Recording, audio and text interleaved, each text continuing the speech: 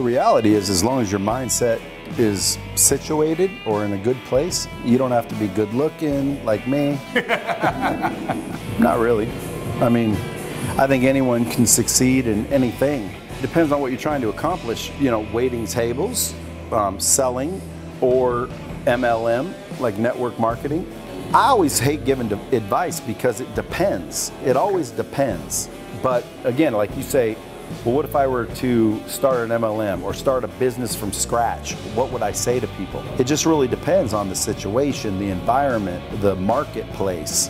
You know, timing is everything. You know, if you try to come out with a product before it's time, mm-hmm. you just better have some tenacity. Like when I started, everyone told me for eight years nothing was going to happen. Yeah. This isn't going to work. You might as well give it up. And if I listened to everyone, I probably, I, I guarantee I wouldn't be where I'm at.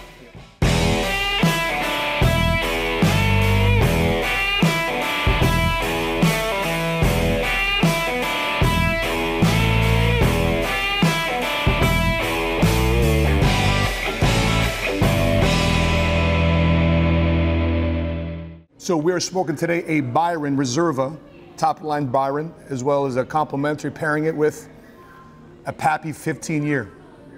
Cheers, brother. Cheers. So you may have seen him across the internet dropping bombs on his podcast, and on top of that, met him a couple years ago uh, with uh, Grant Cardone. Just had a conversation with him uh, via Anchor a couple times. But uh, I've seen him across the internet bringing value to the business community. I'm excited to join today in the Cigars with MSG episode here on the Seven Figure Squad, Mr. Brad Lea. Thank you. Man, good to be here with the conclave of warriors, man. Sharing the stage with you, man. Honored. Honored. I'm honored for sharing the stage with you. Very cool, man.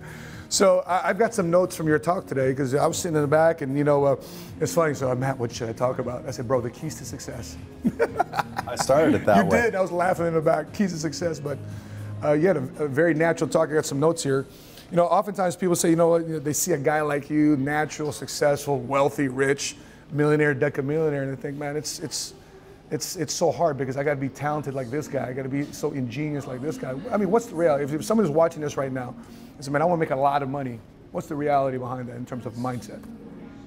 The reality is, as long as your mindset is situated or, or in a good place, you don't have to be good looking like me. you don't have to be smart. You don't have to be rich. You don't like have you? to come from a good family. no, it's like I came yeah. from a blue collar family. Um, it, it's all mindset, like perspective, really. Like, how do you see things? I always, I forgot who told me, but someone said I was mad that I had no shoes till I met a man with no feet. And I've always had that perspective. Wow. Like, did you hear what I said when I said about the million dollars? Like, how come people, if I gave someone a million dollars, they'd get fired up for a week, a month, a year, depending on their income level? If I gave someone a million dollars cash, like the smallest things don't bother people. You just got handed a million dollars, you're pumped up. But yet we wake up every morning with the news we get another day, but we don't we don't treat it the same. But if I said to you, I'll give you a million dollars, but you can't wake up tomorrow, you'd say no.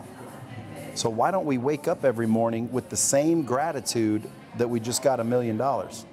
If we did, I think the rest is just a is I mean the rest is wide open. If you guys didn't notice already, I'm smoking a cigar, and right, Brad here smoking a hookah. What, what's the, what's the flavor? Peaches and cream. Peaches and cream. He goes into his personality, man. Renegade rebel. So, how'd you get involved in sales? How'd you get involved in, in, in the beginnings of entrepreneurship on your end? You know, when I was first grade, six years old, maybe going on seven, they gave me a box of candy bars and they told me to go sell them door to door. My parents didn't help me. Uh, nobody told me anything. They just said, you know, go knock on the doors, ask grandma, ask everybody to buy. So I tried it. It didn't work out too well until I discovered that you need a little of a little bit of a pitch. So I developed a pitch. I said in first grade. In first grade, I started knocking on doors. I said, "Do you have the phone number to a good roof repairman?" They say, "Why?" And I say, "Because when you taste one of these, you're going to go through the roof." And they just started buying box after box. Like they weren't buying one; they were buying them all, just because of that little pitch. So very young age, I learned, you know, humor and personality and you know, kind of a angle worked well. but it was on accident. I didn't really know anything. And then I got a job fighting forest fires, and it was such hard labor, like back-breaking, uncomfortable, hard work, that I knew very quickly that I didn't like hard work. And everybody says hard work's how you get rich, Right. hard work's how you succeed. But my dad worked hard his whole life, died basically broke. So did a lot of people I knew that worked hard. So I just knew that hard work wasn't the answer. So I opened up the newspaper and I saw a sales job at a car dealership. Right after I quit this hard labor job, they gave me a car to drive. I wore a suit. People were coming in. It was it was easy, and all I had to do was basically sell. So I made more money than I've ever made in my life, and I just said, "Man, sales is where it's at." Gotcha. Now, so I understand you have an acting background. Yeah. Acting career. So, how'd you get involved as an actor? Well, I was at a store and some lady saw me and she said, You should audition for this commercial. Okay. So it was a Levi's commercial. So I auditioned for a Levi's commercial and I ended up getting it. And then that led to a Knots Landing and Dynasty. Remember those Yeah, of course. Yeah, soap operas in, the afternoons. Yeah. So I got a, I got a few few extra or you know under five roles, under five meaning under five lines, and I just always you know wanted to be an actor. And then I got a starring role in a movie three days before production. The producer's son got out of a drug rehab, and so they basically gave him my part as a reward. Oh. And I and I'm like, what's going on? And they're like, well. This guy's the one that pays for the movie, and he gets to decide who's who. Mm-hmm. So I thought, man, so all I have to do is become a millionaire, and then I'll decide who's in the movie. so I said, hold on, I'll be right back. Thinking, you know, I'll go, I'll, I'll go become a millionaire real quick, Yeah. and come back to the industry. Wow. I just didn't know it'd take, you know, 30 years. So you didn't like politics. So that's why you depended on yourself. Yeah. I gotcha. So, uh, any, any guidance, advice? Because I know there's a lot of artists out there, especially today. People trying to sell their music online, people trying to act, whatever the case may be. You know, and the term struggling artist. Not the fact that they're not good artists, but they're just struggling financially.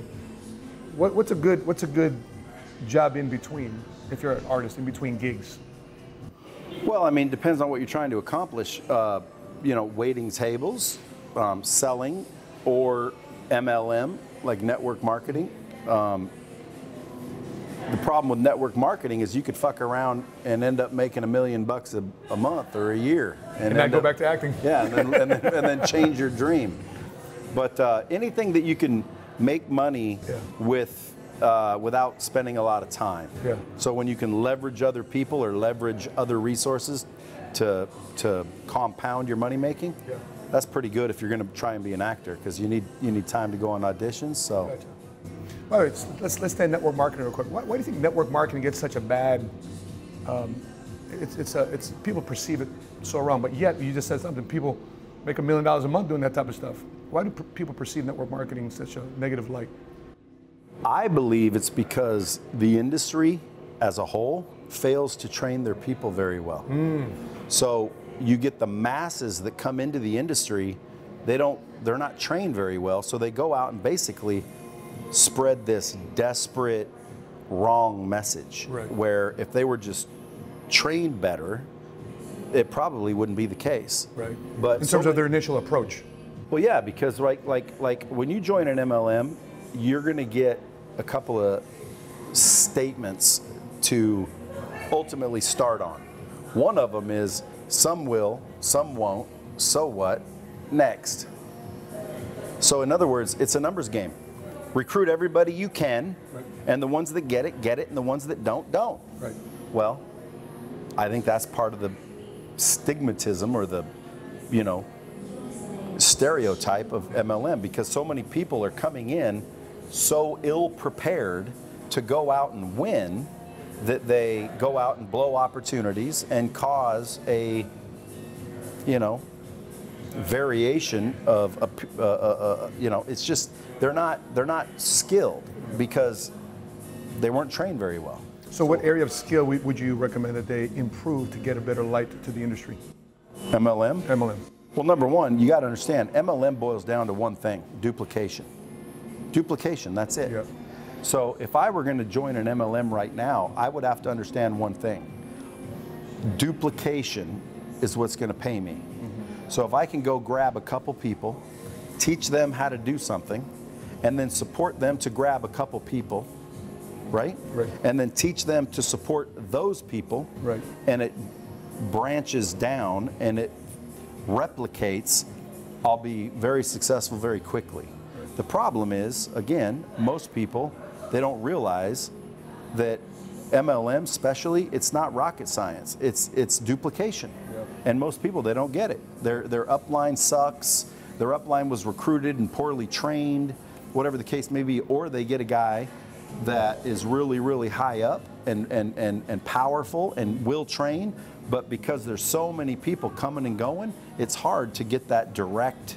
You know, Yeah. direct access. So, like, if you recruited me into an MLM and you were my sponsor, dude, I'd win. Right. But if you recruited that person that recruited that person that recruited that person that recruited me, it's 50 There's a, 50. there's a dilution. Yeah, There's a dilution. I got you. Um, so when, when, when people are looking at a business, you know, you start you start at Lightspeed, right? Um, from a, from a financial capitalization standpoint, a lot of people start start businesses. They start, you know, real estate business, start a technology company, and they start, you know, service-based business. Is there a formula in your mind that you're coaching people to start a business? Is there like a formula that you said, if you're going to start a business, consider these elements, or or do the math on this. You mentioned math on stage, or or make sure you have enough potential customers or enough of the marketplaces potentially be your customer. Is there a formula that you, as you're coaching new entrepreneurs to get in business for themselves, how they evaluate a business to get started? Not really. I mean, I think anyone can succeed in anything. A lot of people told me I wasn't going to make it. A lot of people, when I started my company, the internet just came out. There was no online learning. I literally was the first person to ever have a course online. And coincidentally, I helped a lot of people start a course online. So not many people know it, but I kind of started that industry. Mm-hmm. So if I could make that work, I could probably make, make anything work. So I mean, there's all you really need is the right perspective and the belief in yourself. Because if you don't if you don't think it's going to happen, mm-hmm. it's probably not going to happen. Very rarely do I see people succeed on accident. Right. What, what, what, what values and principles do you take from your current business that you say if you were going to start any other business, would you take into starting that business? Any common denominators? If I could start, if, if I started a new business, the only thing I would do different is document and train people better from, from day one. Like, I've spent a long time trying to find winners when I could have just trained winners. So it's not really it's not really finding a super stud because you can develop that Make person. Yeah, you can develop them. Gotcha. Now, people always ask me now that I, I'm doing well, how do you find all these kick ass people? Yeah. I said, I make them. You don't find them, you make them. Yeah, because your four part process in training and salespeople is is content, Good right? content. Good content, repetition, practice, accountability. So let's break that down real quick. Define good content.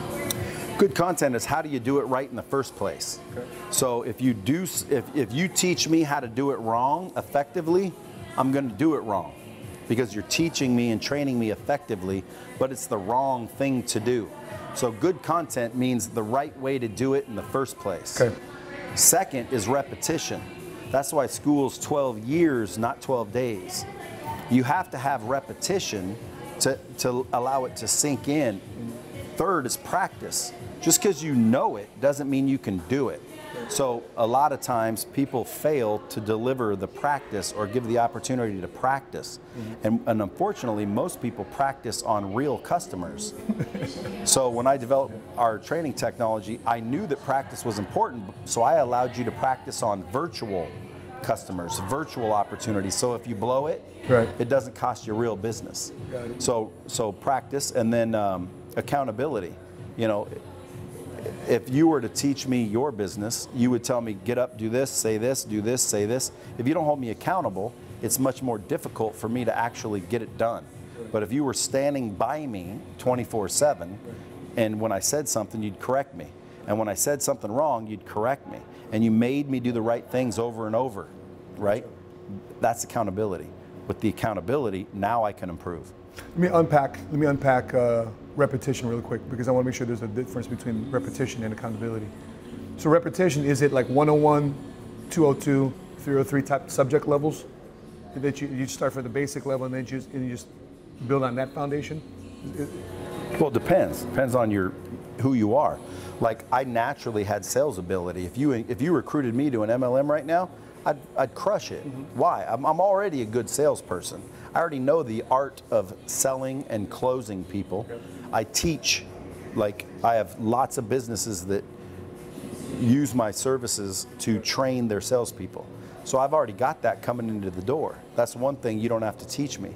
But the, the art of duplication, the product knowledge, understanding the product, understanding how it affects and helps people, I have to learn that. So repetition with that, repetition with overcoming objections, repetition with, you know, just not taking no for an answer, it just strengthens and eventually produces somebody with a thick skin or the ability to, you know, keep going without without necessarily the, the reward. A lot of people give up too easily. Yeah.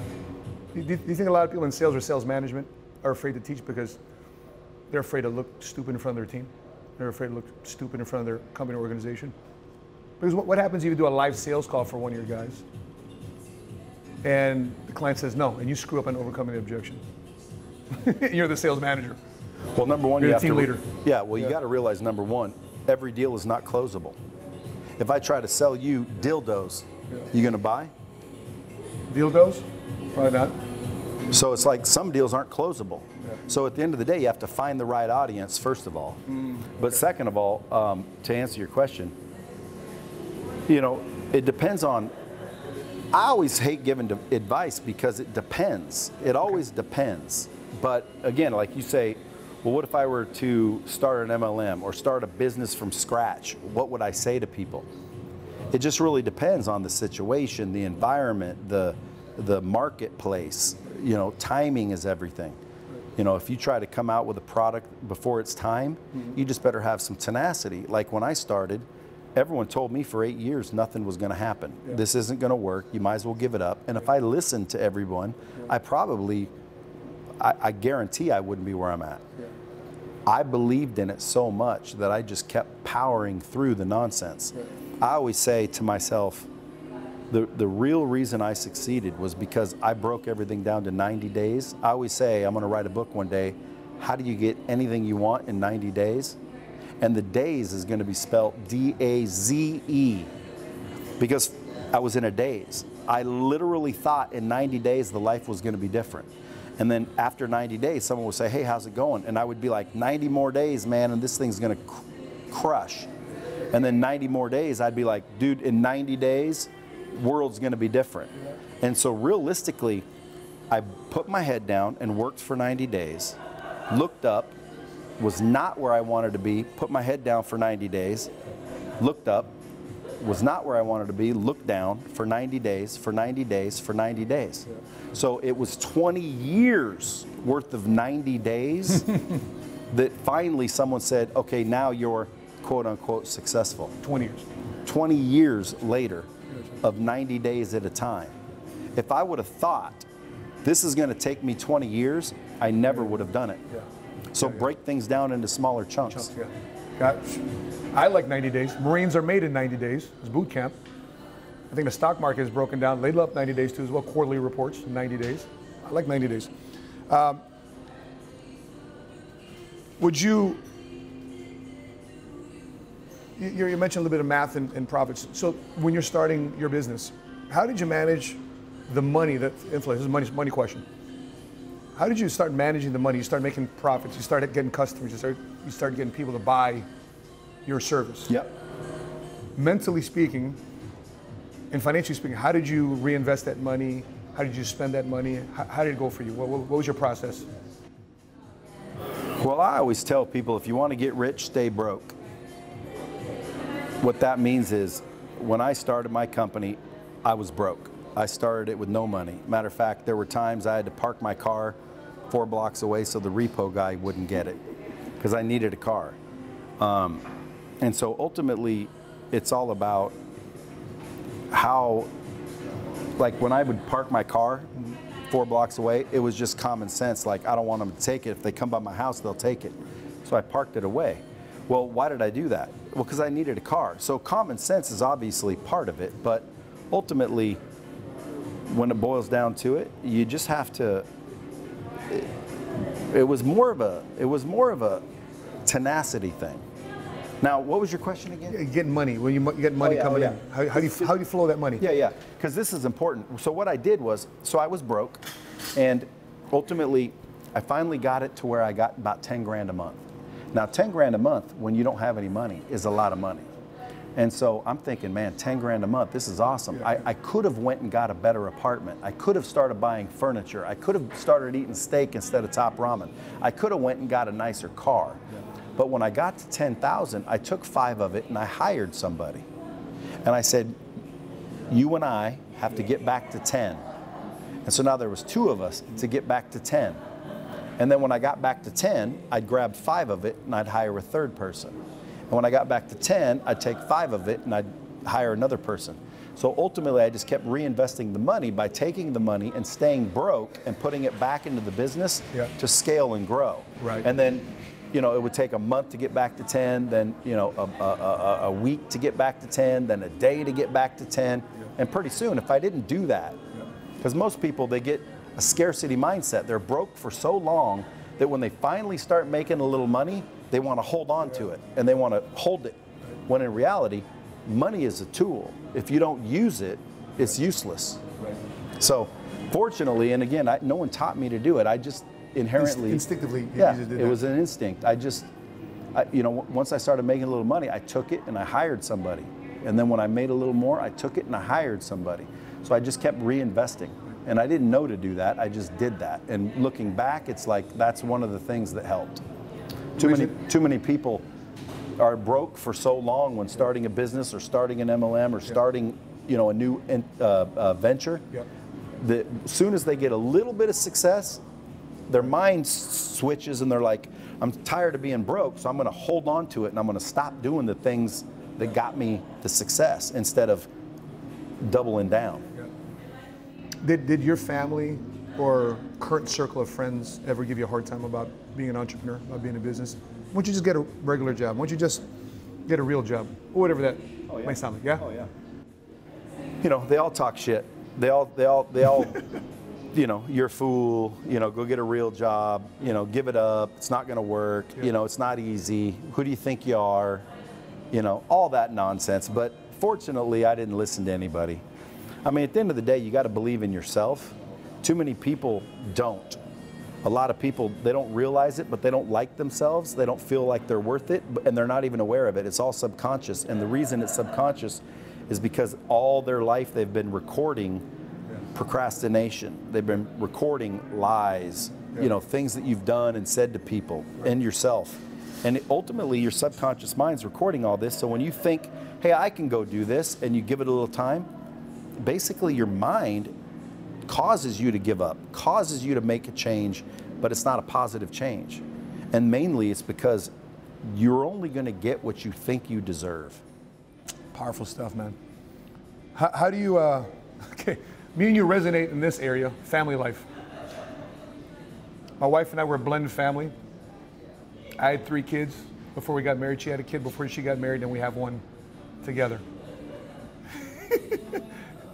you said on stage today, I have six kids, four different women.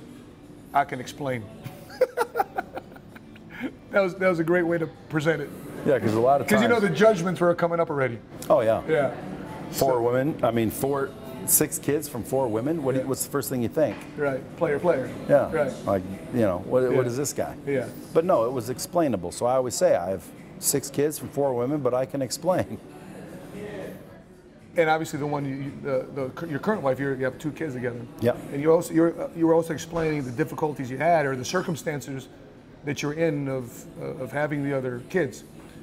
How important is it to find a woman that understands the life of an entrepreneur? Well, it's extremely important. If you if if all day long you're getting beat up, then you go home and get beat up, Yeah.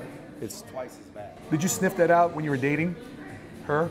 Yeah. Before you got married? Yeah.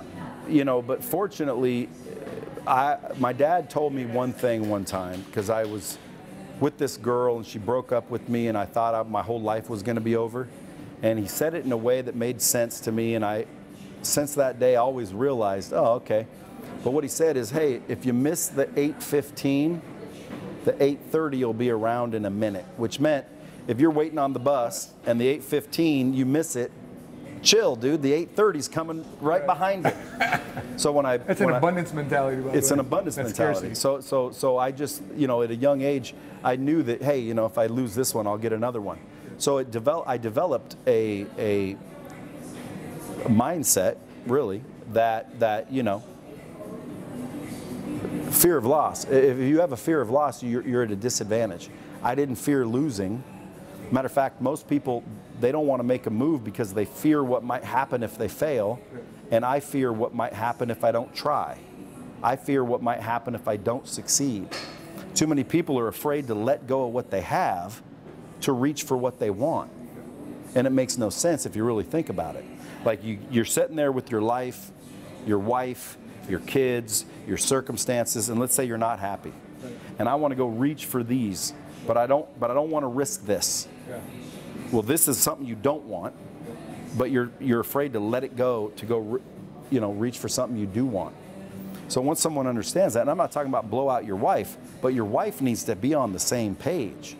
And at the end of the day, if my wife was not on the same page, I probably would have blown her out. What happens to somebody right now says, I want to be an entrepreneur, I want to be in business, but the current relationship, boyfriend, girlfriend, husband, wife, one doesn't want to commit to the life of an entrepreneur to actually build a business. It, it puts you in a rock and a hard place. What then? Depends on your perspective. Again, I mean, what do you want to do? It's all, it all boils down to a decision. You know, if I decide, hey, I'm going to go after this, and the girl I'm with doesn't want to go after that, well, make a choice this or the girl. So if, if, if, if I were educating someone watching this and they're, they're in a relationship that they're not real sure about, but they're damn sure where they want to go, I'd set my wife down or my significant other down and I would say, here's where I want to go. I would love for you to go there with me. Are you down? And if they're not, I'd leave them. Well, yeah, that's what happened to me, man. People are so worried about people leaving their lives. Like, again, I love this person. Well, if you knew this person would hold you back from what you really want in life, would you really stay with that person? And if that person truly loved you and truly supported you and truly was your match, they wouldn't stop you. They would support you. They would back you. They would support everything everything you needed to do to get there. And if they didn't understand, again, talk to them, communicate. But ultimately, if they're just like, look, I'm not down with that, next, that's what I would do. Gotcha. Gotcha. Um, okay, so a speed round. Okay, so here's a speed round of common mistakes entrepreneurs make in, and I'm going to give a couple of categories. Common mistakes entrepreneurs make in X, and then boom. Okay. Okay. So, all right. So, common mistakes entrepreneurs make in starting their business. Starting. Starting. Yeah, that's the mistake they make. They don't start. They think, they plan, they talk, they study, they ask everybody for their opinion, and they don't actually start. Wow. The number one mistake they make is not starting. Because again, thinking about it and talking about it is not doing it. Yeah. Most people talk about it, they think about it, but they don't do it. Common mistake in branding. Common mistake of branding is not knowing who you are, not being authentic, and not learning who who you are and what you want first. Because again, a lot of people ask me because I have a decent brand going on social media now. You know, how did you build your brand? And honestly, the most important thing I did is I decided who I was and what I believed, and I stayed true to that.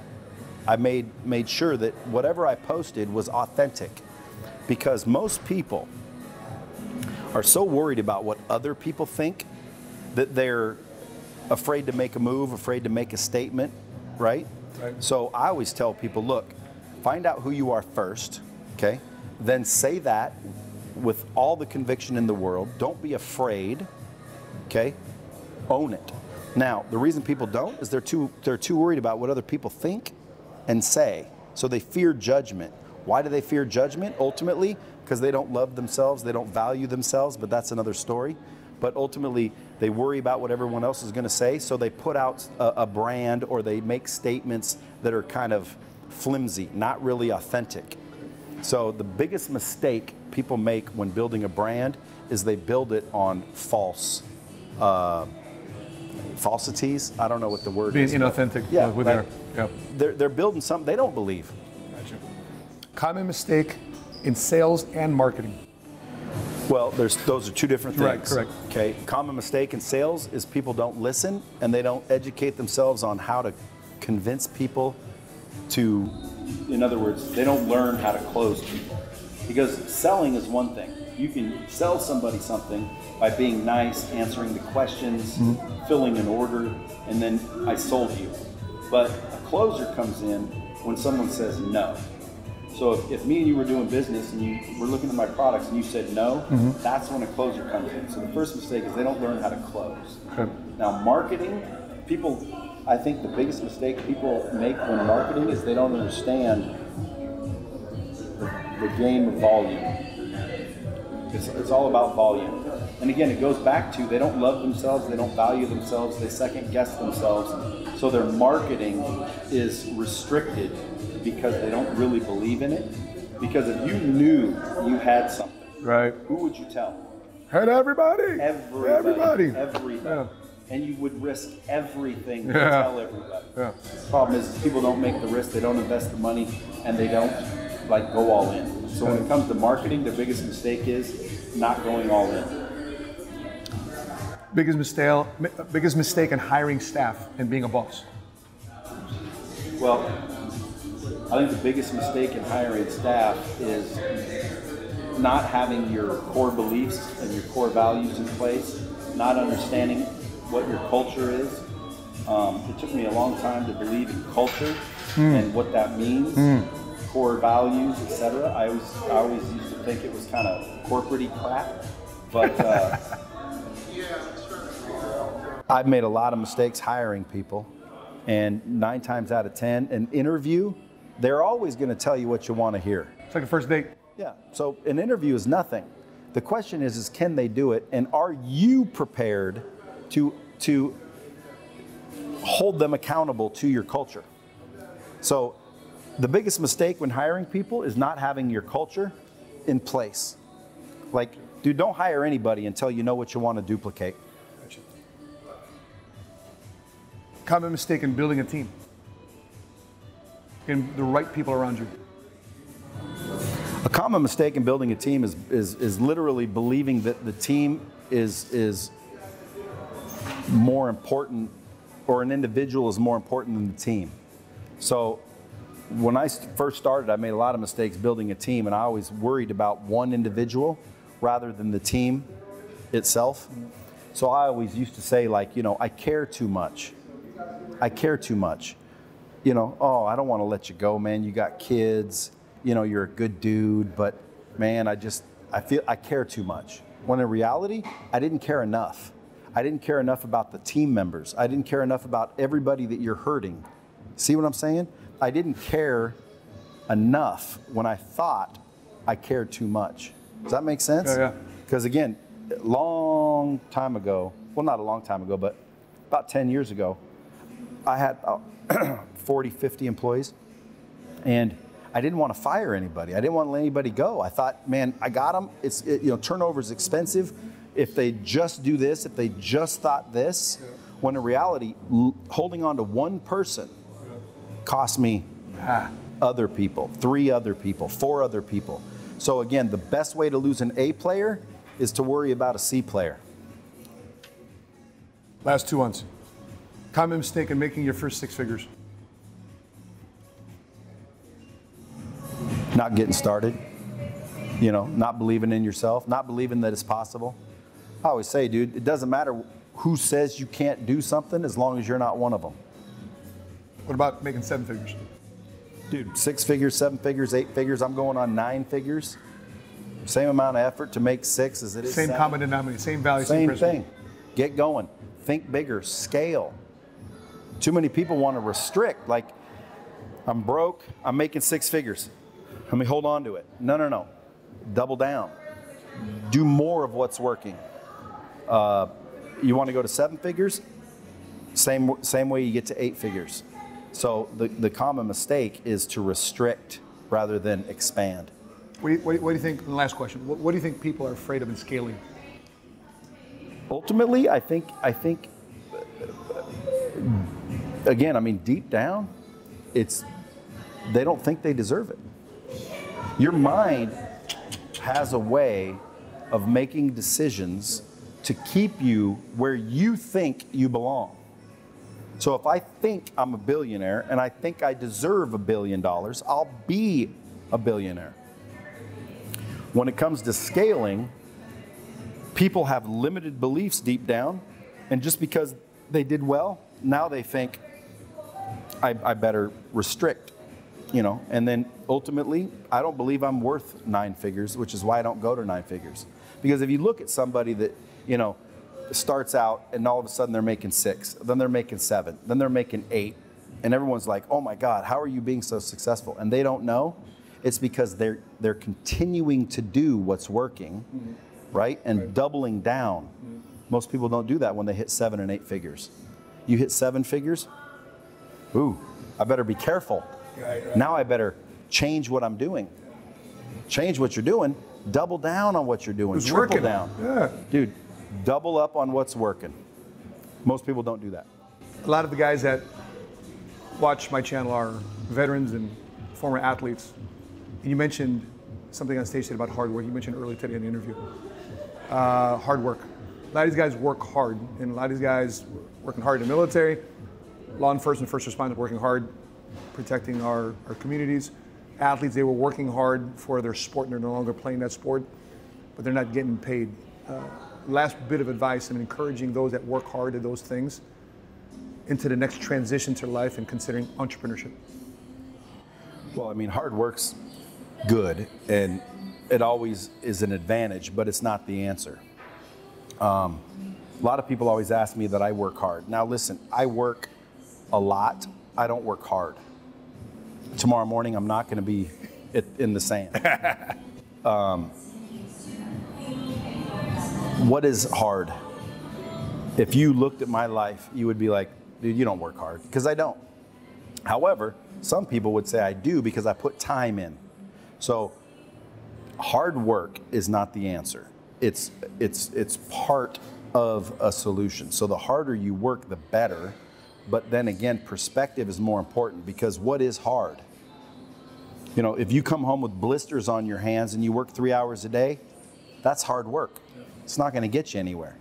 But if you work smart and work 18 hours a day, you're going to dwarf the person that worked hard. hard.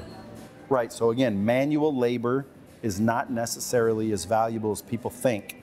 If you look at the brokest of the broke, they're all hard workers. Yeah. Look at the military. Yeah. Dude, hardest working individuals on earth, military. None of them are rich, not ethically. Like, again, if I were in the military and I kicked in fucking Osama bin Laden's castle and saw 15 pounds of gold, I'd be figuring out how to get that home. So, like hard work like that pays off, but may not be ethical. Hard workers are usually the broke. If you look around, the hardest workers, Latinos, uh, minimum wage, hard fucking working people. Yeah. They're not making shit. Why? Because the smart people are getting them to work, which means one thing. I don't want to call them broke people, but let's call it scarcity mindset trades their time for money, and the very wealthy trade their money for time. So a lot of people think we're limited, right? We only have 24 hours in a day.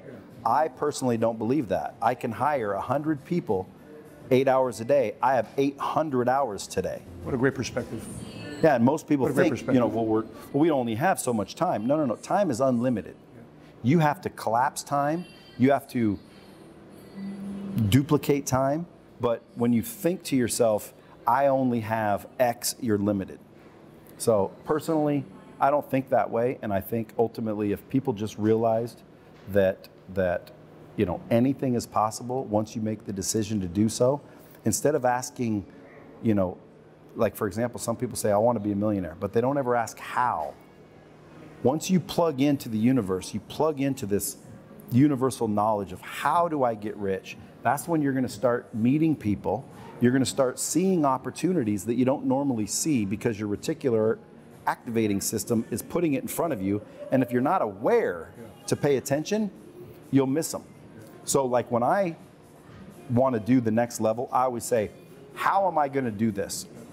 And then I watch and I listen and then I start meeting people. And I'm aware, like when I'm meeting you, it's like, Is this, who is this person? I'm looking for the opportunity. I'm positively ooh, is this person the one I'm supposed to meet? Is that person the one I'm supposed to meet? I'm looking for opportunity. I believe the opportunity's coming. Most people don't do that. They're like, how am I going to be a millionaire? How am I going to be a billionaire? Most people, billionaire, mm-hmm. they don't even think that Yeah, way. yeah, yeah. Okay, let's just do a million. How am I going to be a millionaire? I'm never going to be a millionaire. Correct. Because whether you think you can or you think you can't, you're right. You've heard that. It's 100% fact. So if I if I were watching this right now and I wasn't everything I wanted to be, I didn't have the house I wanted, I didn't have the car I wanted, I didn't have the wife I wanted or the or the husband or you know, I didn't have what I wanted, I'd be listening to one thing. Number 1, you better believe it's possible. Because if you don't, you have to go work on your mindset. Once you have the mindset, now you can make the money. Once you have the money, now you can worry about your health. And once you have the health, now you can worry about the honey. I always say mindset, money, health, and honey. Because, dude, have you ever had like millions of dollars in a kick ass body? Relationships, which is the honey, dude, they're all over. Now you have to figure out which one to. You know. so, too many people worry about the relationships before they worry about the other thing. First thing you worry about is the mindset. Do you believe? Do you f- feel you're worth it? Once you do that, once you master the mindset, now money's easy. Like money's easy. You can put me right now. You can take every, everything away I have, put me in a town. I don't care how big or small the town is, mm-hmm. and I will make money. Why? Because I know I can. I just I just believe that. So money's not a problem for me. Mindset is what does that. Mindset, money, health, honey.